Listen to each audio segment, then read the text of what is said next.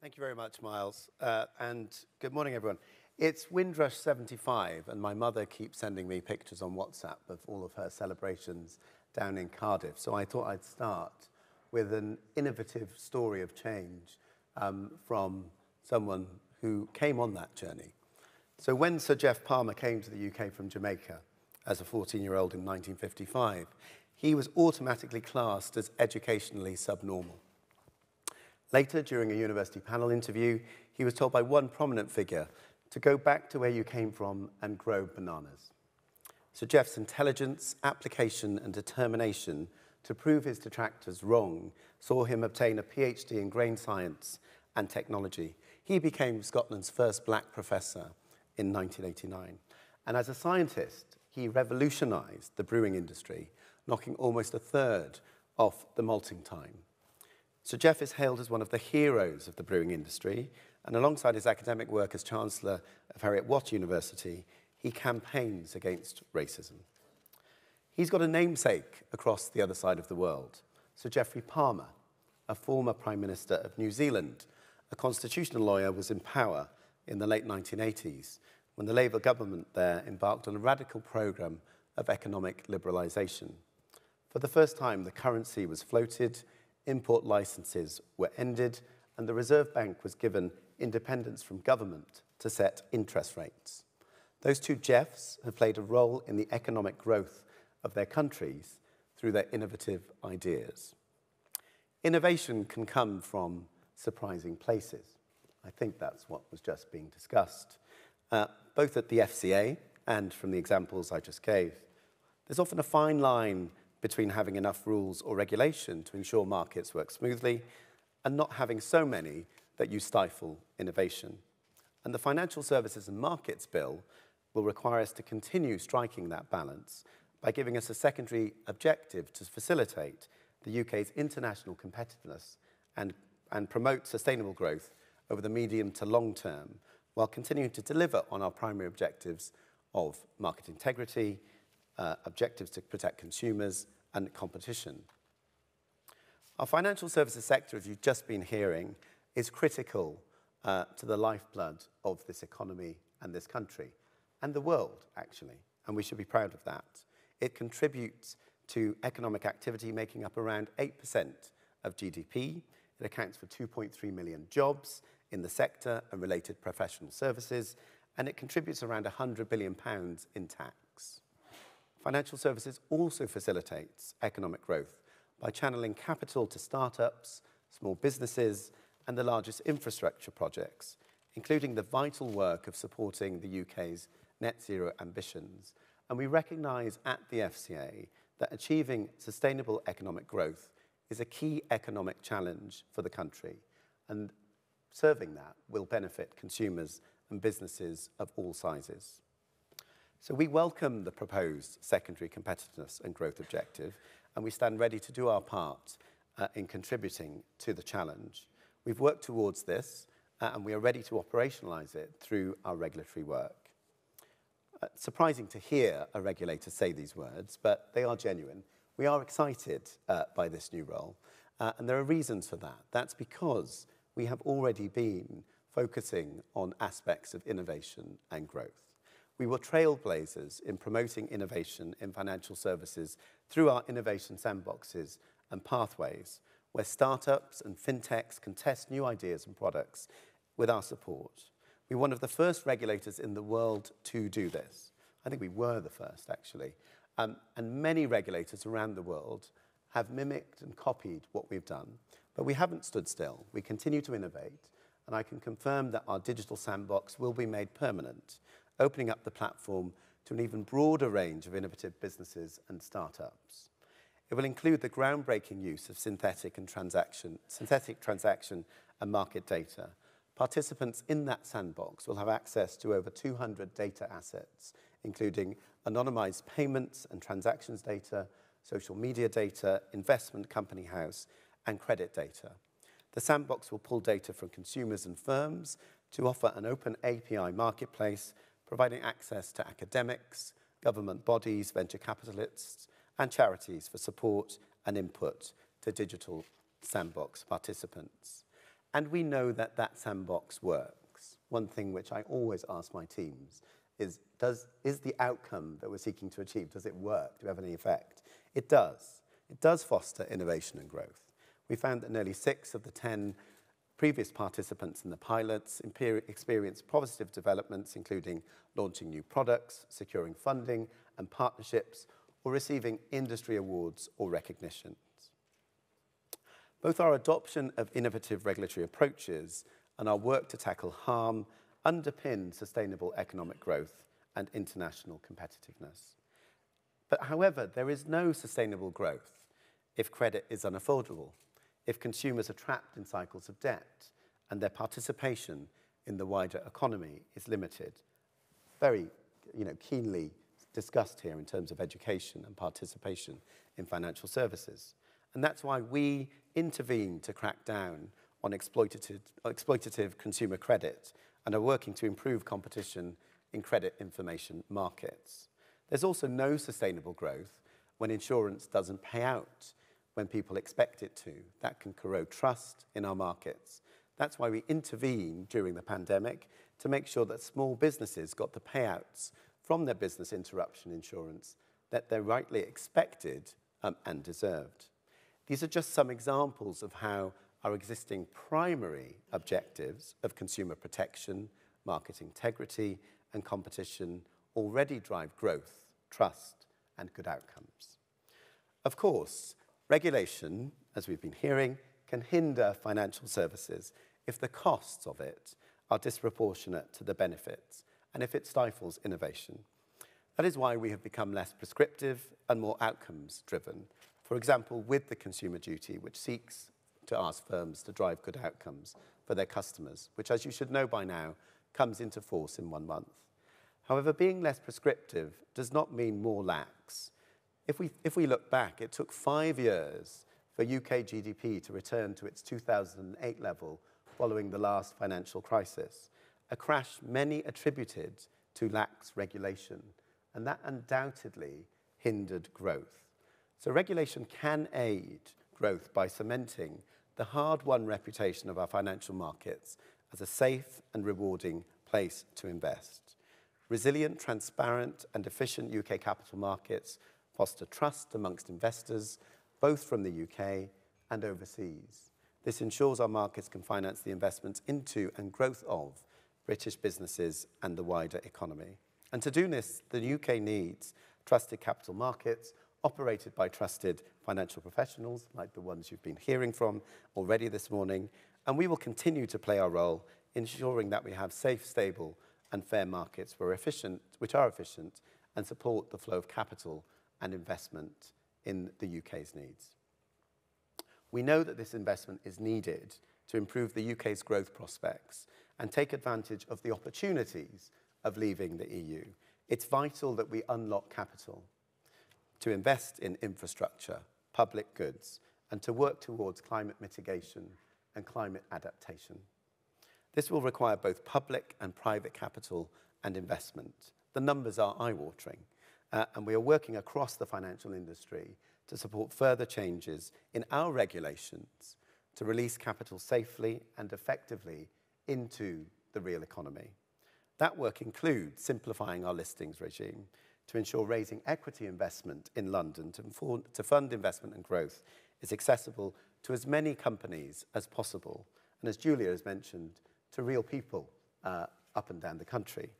We know this is an area of public interest, and we are grateful for the input we've had so far on our recent consultation, and we will act at pace to set out the way forward. This is a genuine debate. You will have seen in the FT uh, this morning uh, that there are different views in relation to reform to the listings uh, review, and it's right and proper that we take some time to consider those and work out a sensible way forward, and we will do that. It also includes broadening access to the long-term asset funds to help investors with the right risk appetite access illiquid assets such as venture capital, private equity, and private debt. It includes working collaboratively with partners in government and other regulators to ensure that people's pensions are transparent, deliver value for money, and can, with the right risk appetite, also invest in certain illiquid assets. It's not in my speech, but I do agree with the question that we need a discussion about risk. What is the country's risk appetite? What are individuals and businesses' risk appetite? Risk is an important part of growing the economy. It also includes creating simple, reliable regime for ESG disclosures, labels, and ratings, which will ensure investors and consumers can make informed decisions as to whether the companies and financial products they're investing in are supporting our societal ambitions and our necessary ambition to green the economy. The thread running through all of these and so many others is that we as a regulator can help the flow of capital and investment by upholding the integrity and international reputation of our markets. The UK was the most attractive destination in Europe for direct foreign investment in the last year, according to an EY report. You wouldn't think that if you read the newspapers. Uh, the UK extended its lead over France, um, which was second place, and attracted 76 financial services projects in 2022. You wouldn't think that if you read the newspapers. We are on the up, but we cannot take and must not take that for granted. To effectively regulate uh, and to drive competitive, competitiveness and growth, we must be efficient as a regulator. So our own operational efficiency at the FCA is rightly always under scrutiny. We will continue to increase the use of data, technological and human resources. We speak with many fintechs and finance businesses seeking to do business in the UK, and they say two things to me. First, they want to be authorised here because they know we have a strong and stable system of regulation. Second, they raise concerns about the cost and time it takes to get authorised. We've listened to this feedback, we are tackling our authorisations backlog, reducing it by 60% recently. We're trialling automated forms, which we hope should speed up the process. And our Future of Data Collections program aims to make it more cost effective for firms to supply us with the data we need to do our work. Our focus on efficiency and effectiveness extends to our rulemaking. At the FCA, we're responsible for transferring into UK law nearly 90% of the EU files relating to financial services. We can decide to repeal or replace them with rules better tailored to our needs, to our UK needs. At all times during this mammoth task, we will remain focused on delivering against all our statutory objectives, including how any changes can further growth and competitiveness. We want consumers and markets to capture the benefits these changes will bring while managing the cost regulatory change puts on industry. And ultimately, we want our handbook, which could fill this room, um, and our rules to be as clear as they, can for, as they can be for new entrants and existing players alike. This is a significant opportunity for the UK's financial services sector, for all of us, to adapt to the demands of the future and support um, our UK and global markets. And as we take this challenge on, we want to hear from you and we want industry to be involved in shaping that future. We've already worked with firms and with government on replacing our rules in some key areas. Briefly, these are the overhaul of the prospectus regime, targeted change to the securitisation regulation, and reconsidering our approach to PRIIPs disclosures. You can see from that that together we want to continue to work to create a more competitive, streamlined and proportionate regulatory environment. So how will the public and how will you know that we're doing well on this new secondary objective on competitiveness uh, and growth? As a public body, uh, and certainly I know this personally, uh, we know we need to be accountable for what we do. Uh, and we're happy to do that. We are working at speed to embed the enhanced accountability mechanisms included in the bill. We're in the process of setting up a new cost benefits analysis panel, which will advise and scrutinise our methodology for conducting, for conducting CBAs. If there's any chief economists out there who think they want to apply, I'm on the panel, come and have a chat with me. Um, although it will, will be a proper process, but uh, we, need, we need as many of you as possible. Um, we know CBAs are critical in ensuring our rules are proportionate, um, and we are using the opportunity the new panel brings to became, to become even more rigorous and analytical in measuring the expected effects of our work. That CBA panel has made the economists in the organisation very excited, actually, funnily enough. Uh, we will soon publish our updated rule review framework, which will lay out when and how we will scrutinise if our existing rules are working as intended. We will take a proactive data-led approach to reviewing new rules, and we won't shy away from amending or rescinding them um, if we find they aren't working as intended.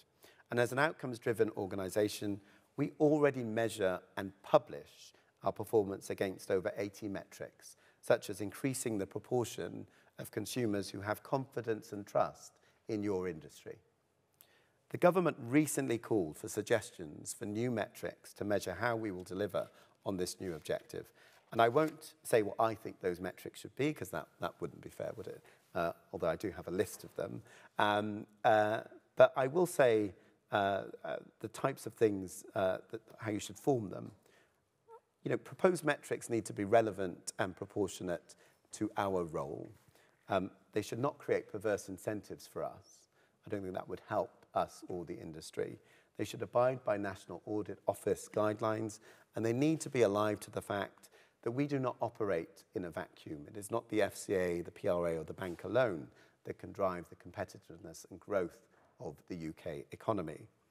Metrics which are strongly influenced by factors such as wider government policy are unlikely to be a good way of assessing the effectiveness of independent regulation, whereas metrics which are specifically linked to our actions as well as those key drivers of productivity which promote international growth and competitiveness are likely to be far more informative and helpful uh, to this task. There are many factors which we do not control when it comes to growth and competitiveness of the economy, such as the geopolitical environment, taxation, investment in infrastructure, immigration, demographics, and many more besides. Firms tell us it is expensive and cumbersome to attract talent from around the world or move talented employees from one jurisdiction to another. Fintechs often tell us that they are not eligible for the EIS tax schemes, a system which encourages investment in a tax efficient way.